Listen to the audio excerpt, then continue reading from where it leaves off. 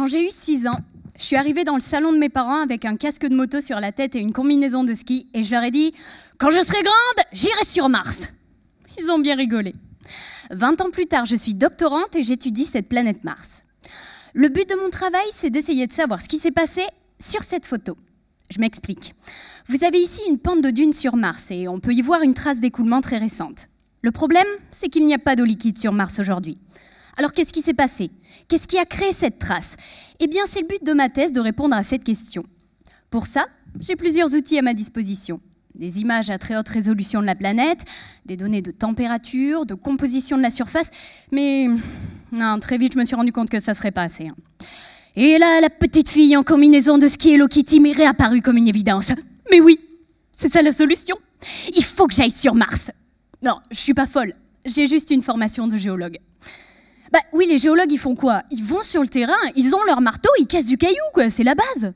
Du coup, si moi, je pouvais aller sur Mars, bah, je verrais de mes propres yeux ce qui se passe en temps réel.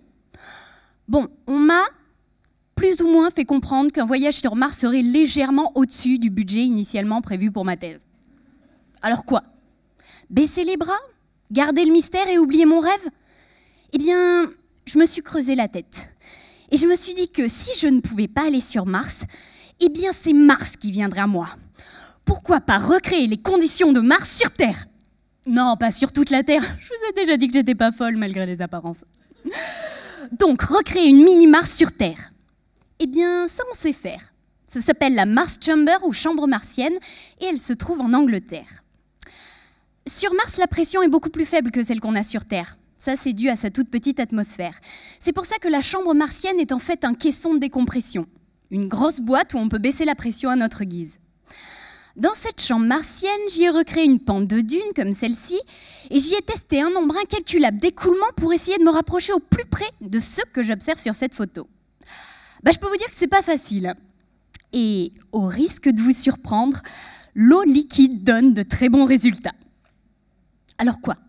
Y aurait-il réellement de l'eau liquide sur Mars aujourd'hui? Si oui, ça changerait toutes nos certitudes sur les études planétaires, car qui dit eau liquide dit potentiellement de la vie.